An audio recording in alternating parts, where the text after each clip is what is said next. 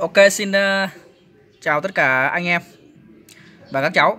Thì uh, hôm nay tôi sẽ lên một đoạn clip ngắn để xin nói sơ lược về cái cách mà chúng ta sẽ trộn giá thể Để chúng ta trồng những cái cây dâu tây nuôi cấy mô mà tôi vừa mới gửi cho anh chị em. Anh chị em nào có theo dõi thì uh, hãy cố gắng theo dõi được cái video clip này để chúng ta có cách trộn giá thể một cách đơn giản nhất và hiệu quả để tránh cho khi mà chúng ta nhận cây về chúng ta trồng là cây dâu tây nuôi cây mô nó sẽ bị chết.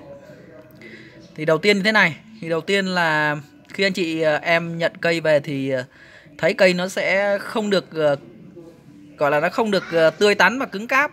Là bởi vì là trước khi tôi gửi thì tôi đã cắt cắt tưới nước cắt tưới nước. Cho nên là cái giá thể của cái này này cái bầu này cái bầu của cây thì nó khá là khô.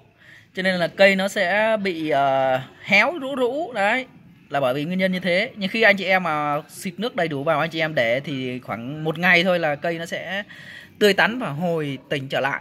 Đấy, anh chị em nhé anh chị em cứ yên tâm là cây là đảm bảo không có vấn đề gì. Cái thứ hai là để mà chúng ta trộn cái giá thể một cách đơn giản nhất để mà chúng ta có thể vừa trồng mà vừa ươm để cho cây nó phát triển lên được thì điều đầu tiên là chúng ta cần là trộn giá thể là như sau. Chúng ta có thể dùng 100% là sơ dừa là chúng ta xử lý sơ dừa. Trước khi đi làm là chúng ta phải xử, xử lý được cái sơ dừa đi. Chúng ta ngâm với nước vôi trong trong vòng khoảng 3 đến 7 ngày. Sau đó là chúng ta lại ngâm với nước trong vòng 3 đến 7 ngày. Đấy là cái sơ dừa đã qua xử lý là là nó sẽ như thế. Và sơ dừa qua xử lý là nó sẽ hoàn toàn là có màu đen. Màu của sơ dừa xử lý là màu đen nhá qua xử lý là màu đen. Còn màu màu trắng hoặc là màu đỏ là màu khác thì đó là sơ dừa là chưa qua xử lý. Thì chưa qua chưa qua xử lý thì anh chị em là không nên không nên trộn cái sơ dừa vào để trồng nhé. Đấy điều đó là điều thứ nhất. Cái thứ hai là anh chị em có thể trộn là đất. Đất thì anh chị anh chị em chỉ cần trộn đơn giản thôi. Đất đất sạch anh chị em trộn với lại là phân bò hoặc là phân ờ, phân dê hoặc là đoạn là một loại phân chuồng nào đó mà anh chị em đã ủ hoai mục đi rồi. Thì anh chị em trộn với tỷ lệ là 7 8 đất.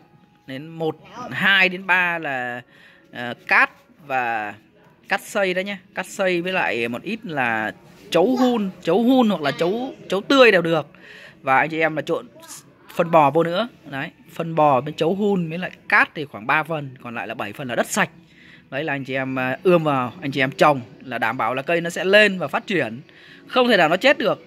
Anh chị em nhớ là đừng trộn bất kỳ một loại phân nào khác mà ngoài những cái loại phân chuồng mà tôi đã nêu. Bởi vì cái loại phân khác ngoài thị trường nó bán bây giờ ấy, ví dụ phân chuồn quế này hoặc là phân vi sinh này thì người ta đã trộn rất là nhiều, rất là nhiều cái phân vô cơ vô nữa rồi. Cái hàm lượng vô cơ nó rất là cao. Cái hàm lượng hàm lượng đạm này kia nó rất là cao ở trong đấy ure đấy. Nó rất là cao thì dẫn đến là cây dâu tây nó sẽ bị sót phân và nó chết. Đặc biệt là không khuyến khích anh chị em là trộn lẫn phân NPK nhé. Không nên trộn lẫn phân NPK là hàm lượng chất ờ, vô cơ nó cao là dẫn đến là cái rễ cây nó sẽ bị sót và nó chết cây.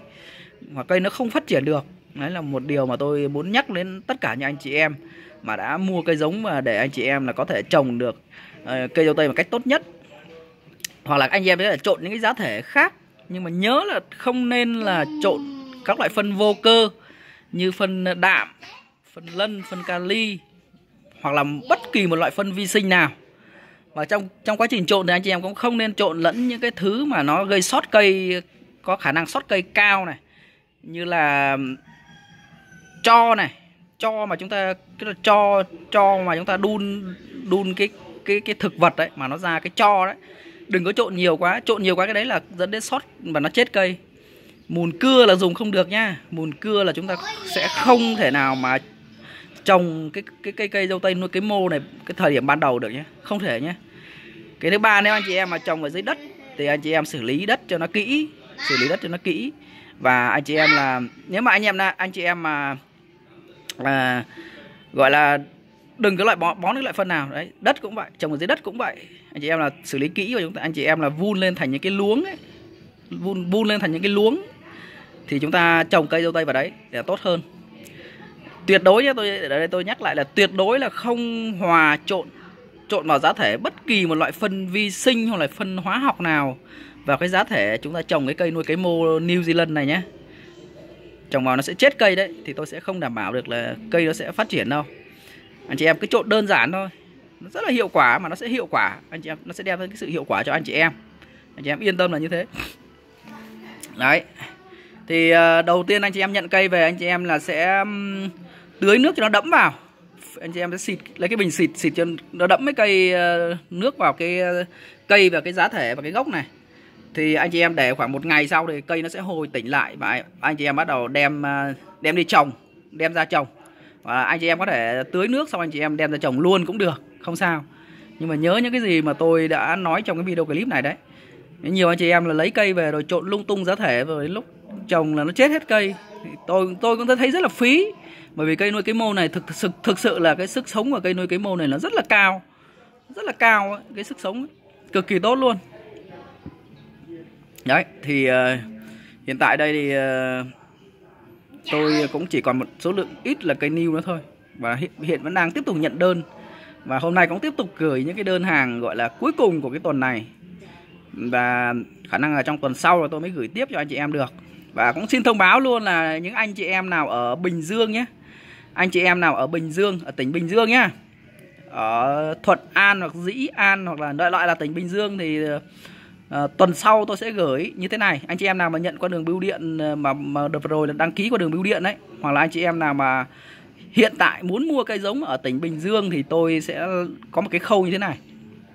Là tôi có gọi là có đứa em nó làm việc ở trong Bình Dương thì tôi sẽ nhờ nó ra bến xe miền Đông. Tức là tôi sẽ ship cái cây này vào ship cái cây giống nuôi cây mô này vào uh, trong tỉnh Bình Dương. Uh, thì đứa em của tôi nó sẽ nhận cây và nó sẽ nó nó sẽ đưa cái địa chỉ cho anh chị em đến cái nơi của nó để nhận. Hình như đứa em của tôi là nó làm việc ở um, Dĩ An Dĩ An Bình Dương nhé. Đấy, anh chị em là gần gần đấy thì anh chị em là liên hệ với đứa em của tôi. Tôi sẽ tuần tuần tới đây thứ bảy tuần tới đây tôi sẽ gửi và chủ nhật tuần tới thì đứa em tôi nó nhận được thì anh chị em là liên hệ với lại bé em của tôi ấy là anh chị em chạy qua đó và nhận ờ, hàng. Bởi nhiều anh chị em là nói là bình dương thì ngại ra bến xe miền đông để nhận thì tôi sẽ nhờ em của tôi nó ra đấy nó nhận. Thì ờ, sau đó là anh chị em sẽ liên hệ với đứa em của tôi và nhận cái hàng cây giống này. Đó, anh chị em ở Bình Dương nhé. Đây tôi đã tạo điều kiện hết sức thuận lợi cho anh chị em ở Bình Dương rồi bởi vì đợt, đợt này là anh chị em uh, mua cây giống ở Bình Dương thì cũng khá là nhiều hình như số lượng là trên 100 cây đấy. Thì tôi cũng cố gắng tạo điều kiện cho anh chị em. Thì anh chị em sẽ thanh toán tiền cây cho tôi và uh, sẽ trả cái tiền ship cho cái đứa em của tôi. Nhá anh chị em nhé thì đó cũng là cái lời cuối cùng của cái ờ, video ngắn này. Thì cũng xin chân thành cảm ơn tất cả những anh chị em đã ủng hộ tôi trong cái thời gian vừa qua. Thì cũng kính mong như thời gian sắp tới đây anh chị em hãy tiếp tục theo dõi ờ, những video clip mới nhất trên kênh và tiếp tục là theo dõi những cái video về cách trồng và chăm sóc cây dâu tây của tôi.